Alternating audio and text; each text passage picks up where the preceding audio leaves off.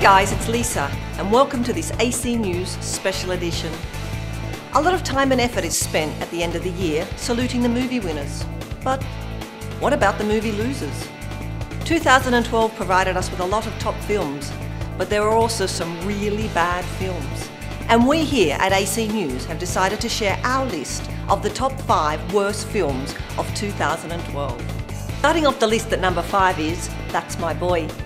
If you like statutory rape, incest, masturbating to photos of old women, sex with old women, vomit, defecation, and vanilla ice, and you find them all uproariously funny topics, especially all rolled together, then you love this movie.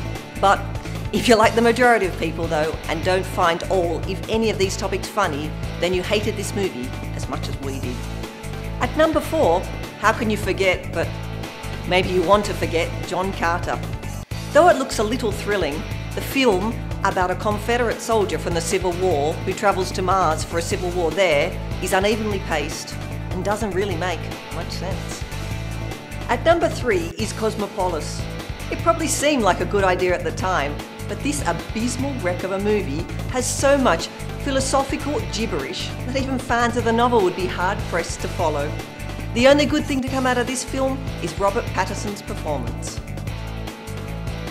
It was a tough choice, but number two, and some of you may not agree, is The Dark Knight Rises. We've had mopey, iffy Batman. It was called Batman Begins. Here we have him again, except now everyone is mopey. Batman loses all his detective abilities and eventually gives his cowl over to a guy he meets all of twice in the movie.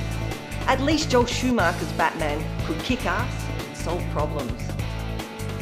And finally, coming in at number one is the Avengers.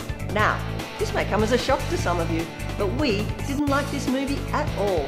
There is no question that Marvel's superhero epic is one of Earth's mightiest comic book adaptations. But that doesn't always guarantee a sure thing. So, what do you think of our list? Leave your comments below. And here's wishing you an awesome 2013. See you next time.